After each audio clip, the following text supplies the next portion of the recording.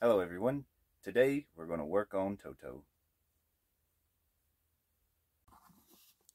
Alright, so to start working on Toto, uh, this is the dog that I had picked to be uh, for Toto. And I still really like this. Now it doesn't exactly look like him right now, but I'm hoping I can change this up uh, to look more like him. But just in case if I don't like it, I did find this at the Dollar Tree, and you're all going to fall in love with this one at first. Because this little dog actually looks kind of like Toto. It's already brown, and it looks like it would be just the perfect little dog uh, for the part.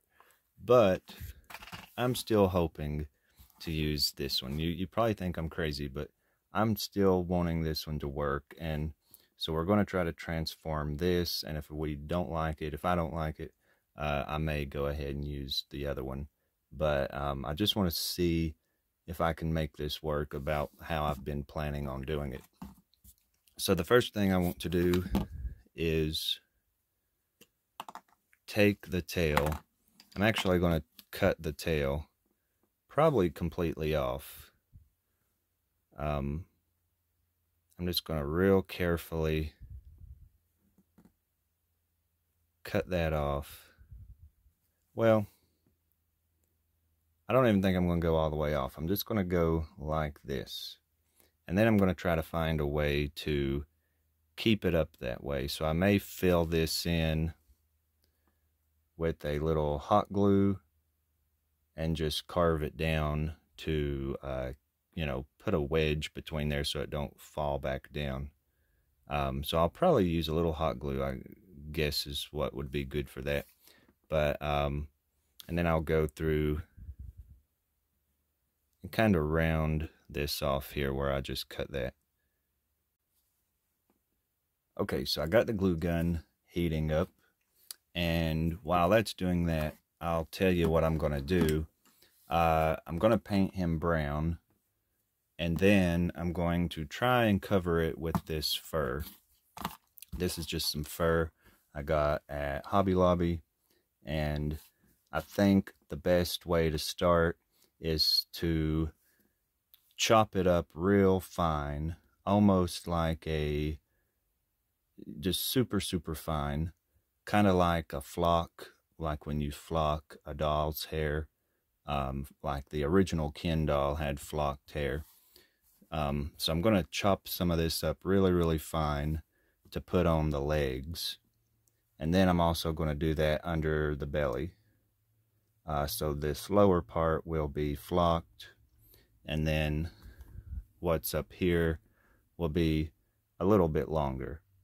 And I may just start kind of down on this area, gluing it and doing it in layers until I get to the top and then start on this side to where they'll be apart all the way up his back. Um, so that's what I that's what my plans are. Now I don't know how that's going to work. Now of course after I get that on I can trim it up and style it. But that's what I'm hoping and I probably will flock uh, the face like uh, up in here could be flocked and then I'll probably put some longer pieces hanging down the uh, muzzle. And then that can be trimmed up later. But uh, And probably flock the ears. So I'm just going to take my little fine uh, scissors and just chop me up some of this while we're waiting on the glue gun to heat up.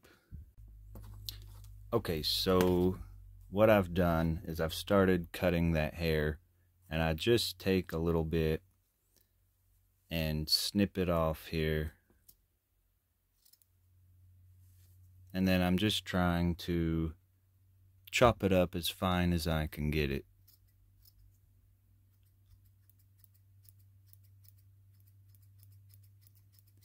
And then when I get a little pile of it, um, I can kind of pile it up and then I'm still going to go into the pile like this and chop it a little bit more just to make sure I'm really getting that really as fine as I can because I don't want any long hairs sticking out But if there is long hairs, uh, you know, I can trim them up later after they're on it. But it'll just be easy to just sprinkle that on the legs uh, after I put some glue on them. So, I mean, the way I've got this pictured in my head, it's going to be so easy.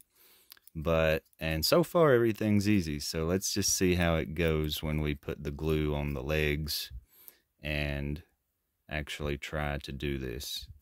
But it, the way I've got it in my mind, it's going to be really easy and look amazing. So who knows? I guess we'll find out here in a little bit. Now, I kind of got this idea from a dog I saw on the internet where I'm thinking it was sort of done this way. Uh, now, I don't know how the maker of that one did did it, but I just looked at it and kind of guessed at how I would do it if I was making that dog. And I'll try to post a picture of it. I don't know if I should post a picture of it or not, um, but I may do that. I may even just share a link to the dog. It's one that I found, I think, maybe on Etsy. Uh, and I thought, hmm, I love how that looks. So maybe I can try to recreate that. So that's what we're going to try. So this is just probably like the, uh, what was the other video? Oh, the basket video where I just totally butchered that woman's video trying to do, you know, her version uh, which it did turn out pretty decent in the end, but here's another video where I'm trying to copy an idea, and I'll probably butcher this too, but I'm just hoping it's going to turn out as cute as I'm thinking it's going to. Alright, so I've chopped the heck out of that hair, and I'm just going to let that sit there um, while I work on Toto's tail and I actually have glued that, which I totally didn't even uh, video that as I was working on it, but all I did was just squirt some hot glue there, and I'm just holding that until it dries so that it, you know, don't fall back down, um, which I think it's almost dry. And then I'll just take my blade and kind of carve that glue down a little bit if it needs it um, but that's pretty good. That worked out really, really good. And now it won't fall back down the way it was before.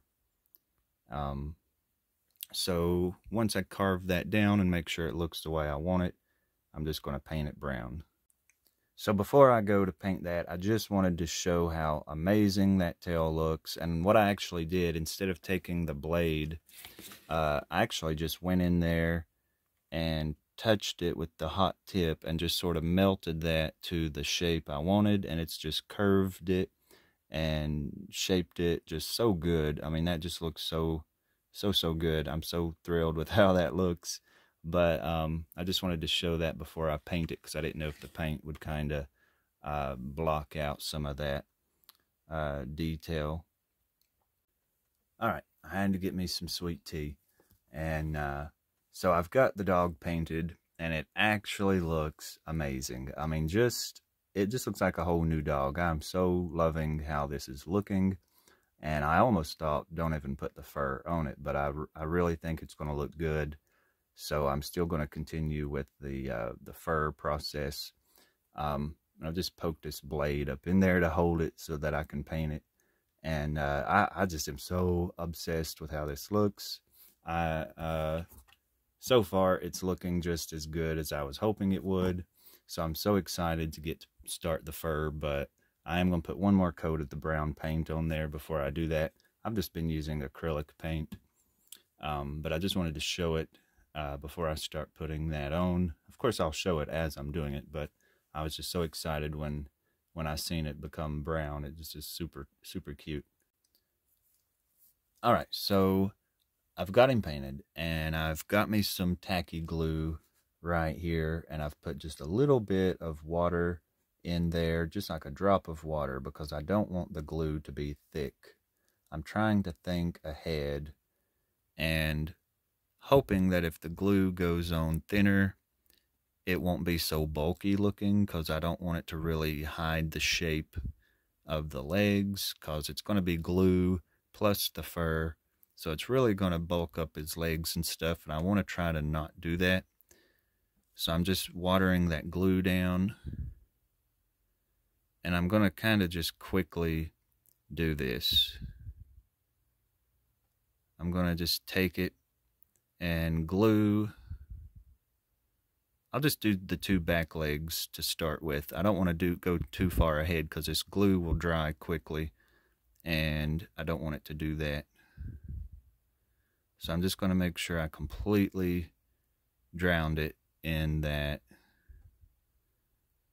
glue and water.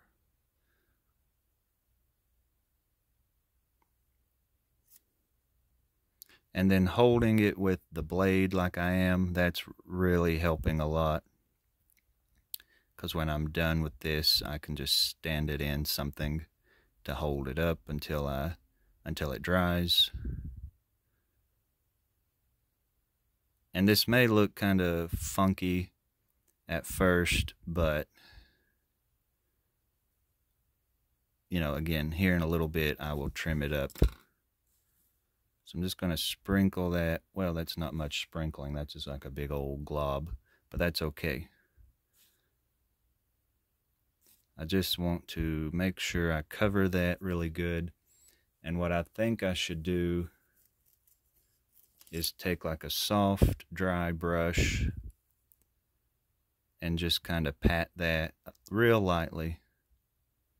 Now this is experiments, this is an experiment. I have absolutely no idea if this is the best technique, but I think it's probably going to work.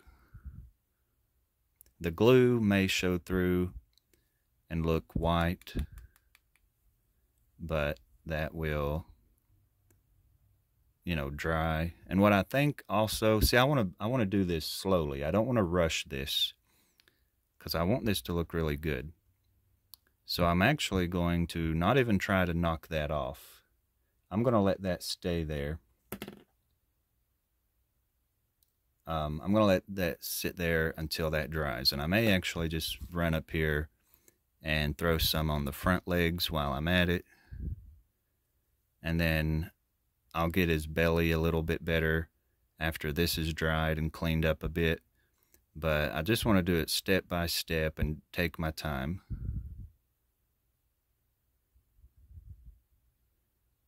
So I'm going to do the legs. I ain't worried about the bottom of the feet. He don't really need a lot on the bottom. So I think this is going to turn out pretty decent, I hope. but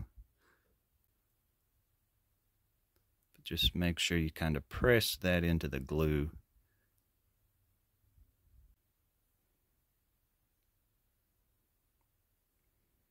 Just do the entire head.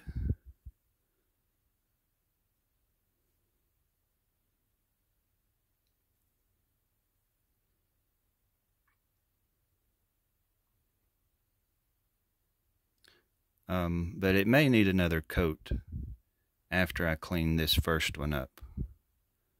We'll just have to wait and see what it's going to look like.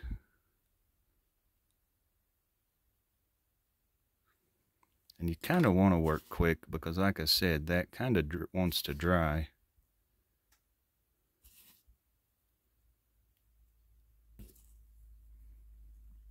You could even like lay it down in there like this and press it on. Oh, that's really good. Ooh, I like that.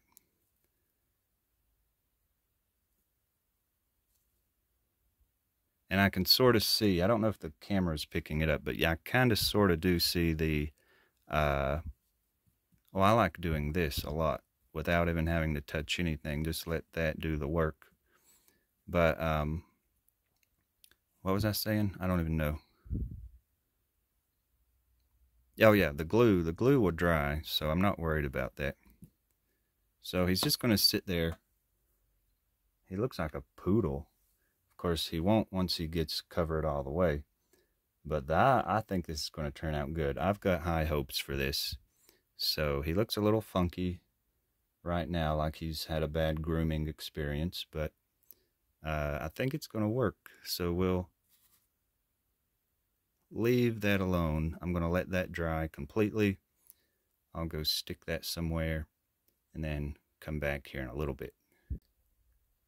All right, so I've let that dry. And another thing I did is I did the tail because I had forgot the tail. But I've took my finger and just sort of tapped it off. Uh, so this is what it's looking like so far. And I just absolutely love how that looks. Um, it, you know, tapping that uh, got a lot of that excess off or excess off. Um, so that's looking so, so good. And you can sort of see some of the long hairs. We'll trim that up at the last. I'm not worried about those right now.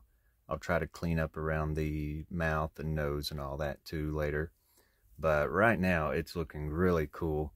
And I'm trying to decide if I want to put the long hair on it or if I just want to flock the whole thing. I think it would look better to have the long hair to be able to style it and to hopefully make it look more like, uh, you know, how it should, I guess.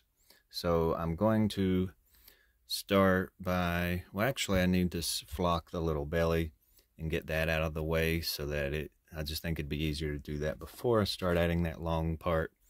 Um, so I've just beat that off there like that and I'll cover the little stomach first and then I'll just start layering the long hair on there.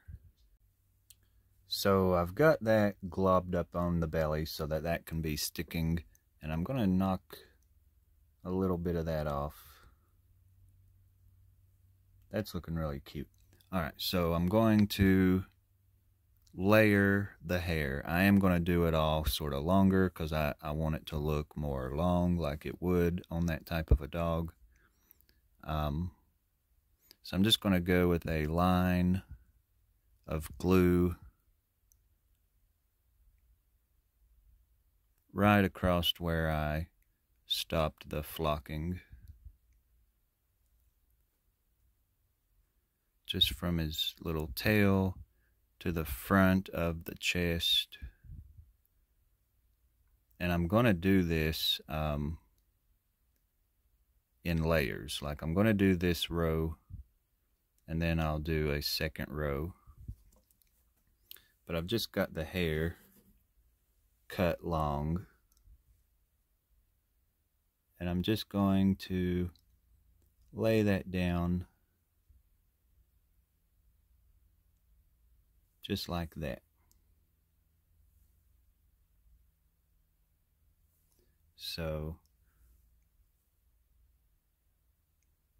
I'm going to press it down with my finger.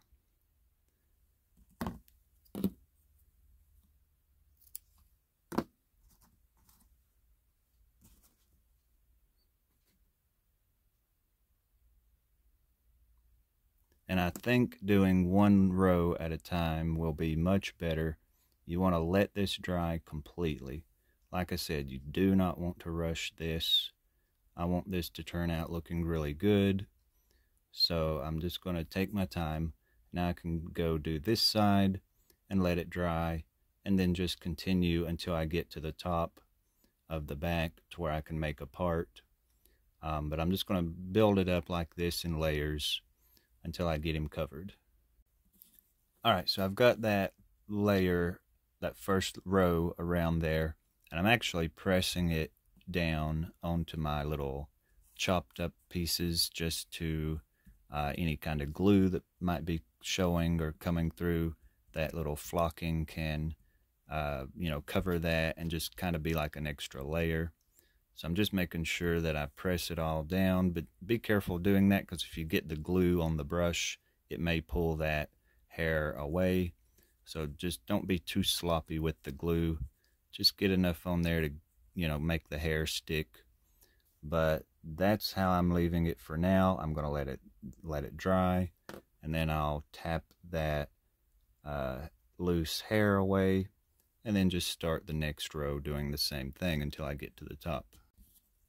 Now, one thing about going around the top of that first layer is it's putting this glue on top of that or those ends, like the ends where I started. It's putting that glue right over that, which is also helping that first layer stick better. So that's really good that it's doing that. And again, you don't want to pull on this or try to style this at all until it's completely dry. And then I just made a boo-boo right there. Those little drops are going to make a mess. Oh gosh. Well, shoot. I'm just going to try to, oh my gosh, I really didn't want that in there. Try to just brush that away. So there's my second layer. Just layering that hair. But watering that glue down, what I was wanting to say is watering that glue down makes this so much better. All right, so there's how he's looking. Um, he's a shaggy little dog, but I think he might need a little bit more at the top. I don't know how it's going to look, so I'm just going to let this completely dry and then go ahead and try to shape it up a little bit. Maybe not trim down here yet, but I just want to clean the back up so I can see what's going on on the back. And then I may try to take my blade and poke it back in the belly area so I can focus and work better on that uh, the back of it. But right now he looks I can vision it. I don't know if y'all are thinking, whoa, what's going on, or if you can vision it like I am, but I think this is going to turn out pretty cute. So anyways, let's let it dry, and then I'll come back and clean it up a little bit. Okay, so here's what it looks like now.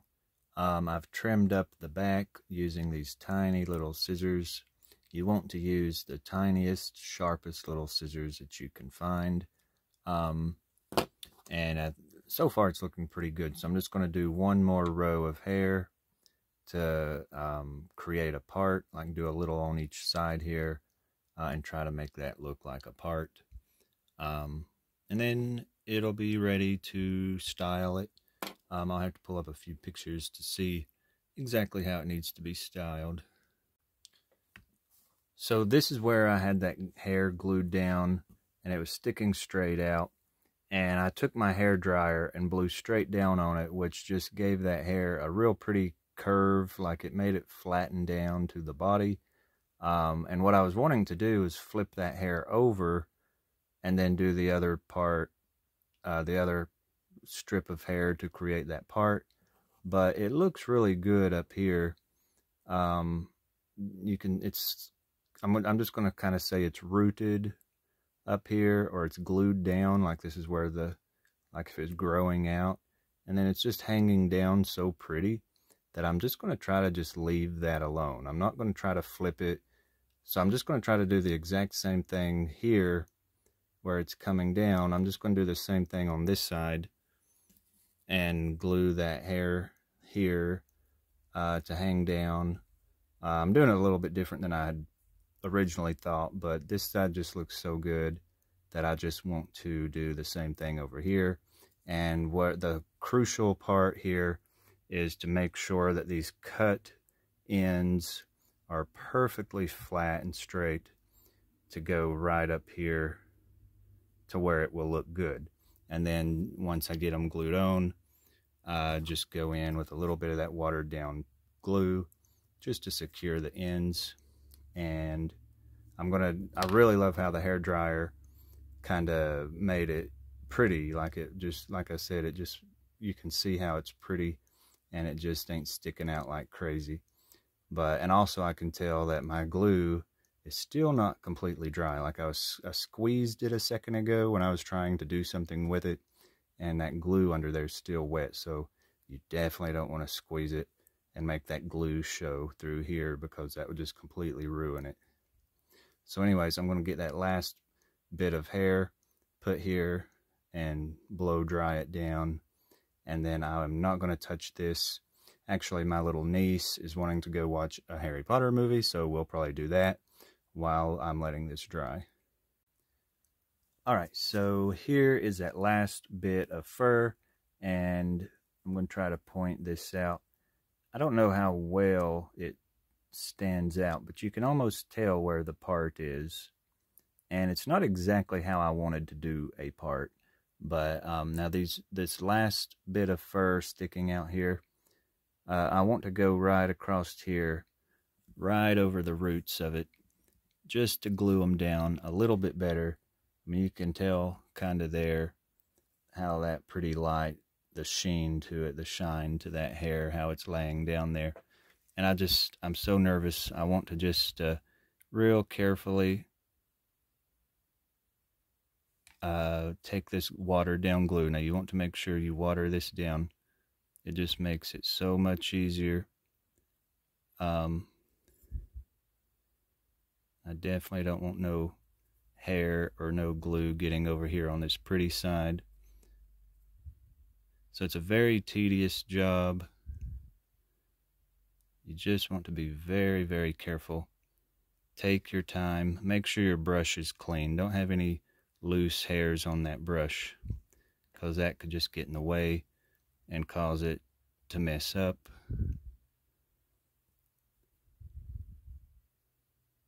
But I'm just trying to glue those ends down. And what I think I actually want to do with that being done, whew, okay, I want to take a little bit of that flocking, those little cut pieces, and actually go down and just try to cover that glue so that glue doesn't really show. And this is a very tedious little project. You just got to really, if you have to, take a whole day to work on this. And then um, each time you glue a piece, let it dry. Do not fool with it when you've got a lot of wet glue on it. So just like that, I'm going to leave him like that. And then when I knock that off, which I don't even want to do that till it dries a little bit, but um, I think that's going to look really good when it's done. All right, so here's what it looks like now, and that looks really, really good. Um, you can't even see the part. I mean, it just looks so good. Um, I'm real glad I put that little flocking down its back. And I don't know why my camera keeps going bright like that. But um, uh, it looks really good. And um, what was I going to say about this? Okay, so what I did is I just took my hair dryer and just blow dried it down.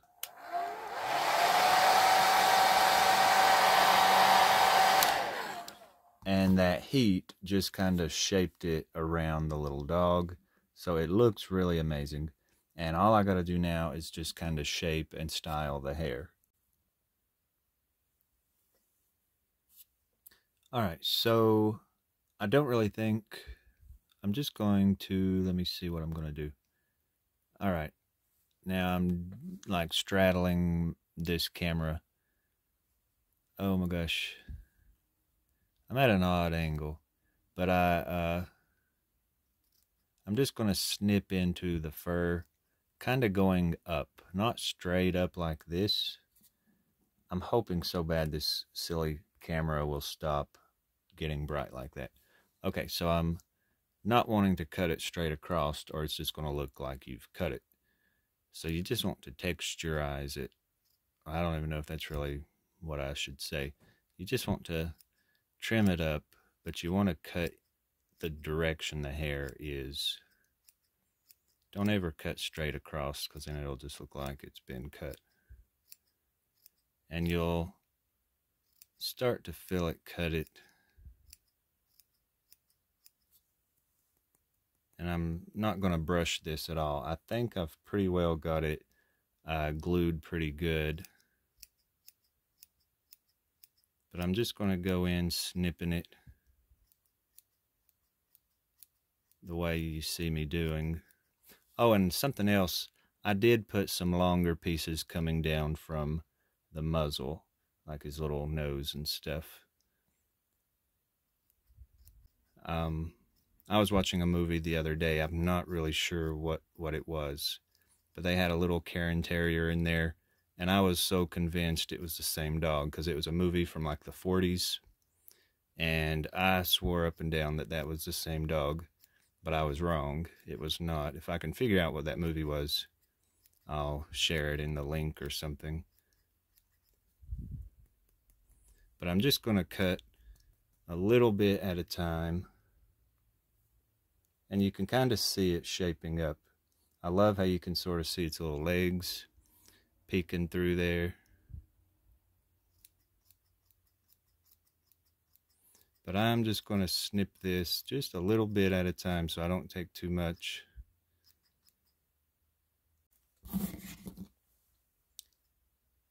And we're just snipping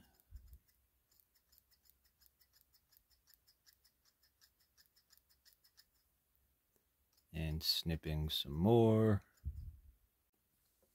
And here's what he looks like. I think he's turned out so, so cute. Um, now, I did go in with a little bit of paint, and I tried to paint his eyes and his nose. I darkened uh, the feet just a little bit and the ears, because I was, from the pictures I was going by, um, he's got a little darker feet and ears and stuff. So, I think he looks pretty much like Toto. Um, I think it looks way more like a Toto dog compared to what we started with. And as far as a size comparison, it's a pretty good size for the doll. Um, I mean, it's just, to me, it's an amazing transformation where it started out as a husky, uh, you know, to a little Cairn Terrier. And its little butt just makes me think of a Cairn Terrier because they've got these little hips on them with these little skinnier legs. And to me, that looks like a little Cairn Terrier. I'm really happy with how it's turned out. Um, the only thing I'm going to do now is just spray it down with hairspray just to help hold the hairs together more. But uh, I'm really excited about it. So now I'll take some pictures uh, with the basket and stuff and see how it looks. Alright, now here's what Toto looks like spinning on the little pedestal. And again, I'm really excited with how it's turned out. Now, in the book, it describes Toto. It says Toto was not gray. He was a little black dog with long silky hair and small black eyes that twinkled merrily on either side of his funny wee nose. Toto played all day long, and Dorothy played with him and loved him dearly. Now, in the book, to me, they draw him like a Yorkie, He's really small, and he's the way they colorize him and draw him, he looks very much like a Yorkie. And I will argue all day that Toto should be a Yorkie. And of course, uh, in the movie, it's played by a Cairn Terrier, and it's, you know, obviously not a black dog, but, um, you know, and it's just neat to see all the different types of Totos through the different movies and books through the years. Um, here's what he looks like with the little basket. I think the size comparison to the basket is really good. There's that tiny picture of Dorothy and Annie M. I'm just absolutely crazy about it. I cannot wait to just continue this project. Uh, probably will be working on Dorothy next. I don't know when, but that'll probably be my next step in the Oz uh, project that I'm working on. Um, now, originally I was going to start a Scooby-Doo video today, but I thought I'm really anxious to get on with this dog. So, of course, that's what we've done. And, uh, you know, I'm tickled with how it's looked. And um, so now he'll just sit there waiting on Dorothy.